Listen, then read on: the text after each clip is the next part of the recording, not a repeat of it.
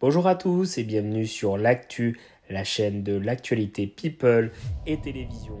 N'hésitez pas à liker la vidéo, à vous abonner et à la commenter. C'est dans la joie et la bonne humeur que les Enfoirés sont revenus cette année avec de nombreuses participants.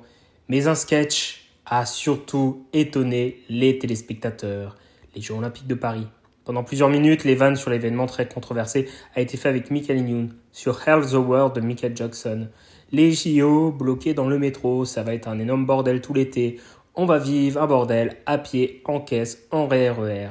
Les prix des places ont également été pointés du doigt. Une moquerie bien sentie qui ne plaira sans doute pas à Anne Hidalgo et qui a beaucoup plu aux tweetos. Merci à tous d'avoir aidé la vidéo. N'hésitez pas à la liker, à vous abonner et à la commenter.